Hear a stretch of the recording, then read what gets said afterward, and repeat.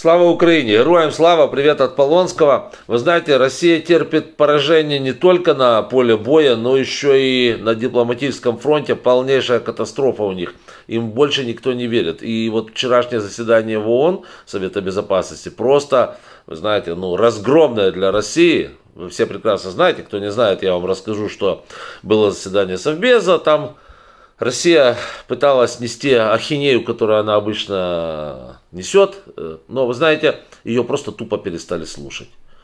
Поэтому даже было такое позорище, когда их э, представитель, вот этот лысый, знаете, такой не бензя, он просто оттуда убежал. Убежал, когда его начали тыкать пыском в лайно, и он, э, ему нечего было сказать даже в ответ, он просто взял и удрал, как последняя шавка, там, поджав хвост, который у него чертячий хвост там есть в штанах, и он с этим хвостом в охапку убежал из зала заседаний. И вся вот эта комарилия за ним тоже.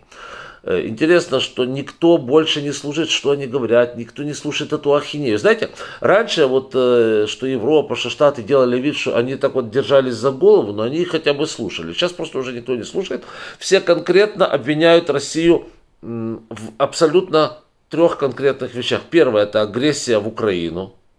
Тут абсолютно очевидно, что это варварская, неприкрытая фашистская агрессия.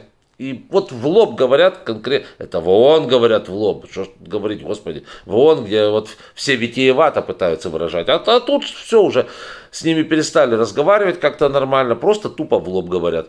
Э, варварская агрессия в Украину. Второе, военное преступление.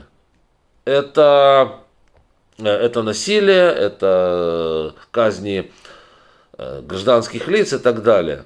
То есть то, что совершали те же самые, ну, предшественники Путина, гитлеровцы, да, то есть они совершали точно такие же вещи э, в 41-45 годах в Украине или в 39-45 э, по, всей, по всей Европе. И также их обвиняют в использовании как газа, так и продовольствия в качестве оружия. То есть в, ну, в данной ситуации их обвинили в продовольственном шантаже всего мира.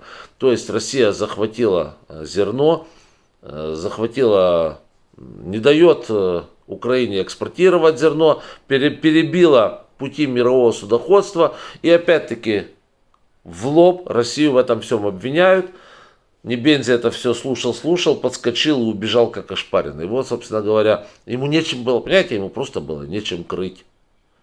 Его просто размазали там в ООН. И причем размазали не только постоянные члены Совета Безопасности, ну, и, не, и непостоянные тоже, но еще и представитель Евросоюза, Шарль Мишель, который там был. Это тот самый, который очень похож на нашего Шмыгаля. Когда их так поставишь рядом, их невозможно различить, кто из них кто. А когда еще между ними Резникова для смеха ставят, это вообще цирк, да. Но не об этом речь. Вот, короче говоря, ребята, их никто больше не слушает. Они, они стали мировыми изгоями, причем до такой степени изгоями, до такой степени, знаете, пария такой, на которого вот... Э, их, Россию сейчас брезгуют. Э, подать руку э, российскому дипломату это, это мувитон. Пригласить куда-то русских, это что, потом руки мыть надо же, это же дезинфицировать надо. Вы понимаете, они, они себя не извели, это же не кто-то им сделал, это они сами так сделали себя. Своей агрессией, э, своим сумасшедшим каким-то враньем, которое больше никто абсолютно не слушает. Вот, они себя не извели до состояния, вот знаете, есть такая в Индии кастовая система, вот есть каста неприкасаемых.